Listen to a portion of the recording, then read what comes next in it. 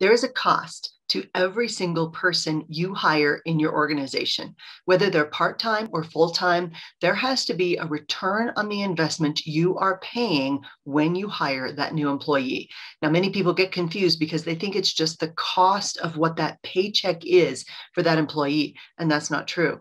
You've got to consider the cost of finding that person, training that person, onboarding that person. Maybe there are benefits that go along with that job. Maybe there's bonuses that have to be paid out. Maybe there are other taxes that have to be paid on what that employee is making.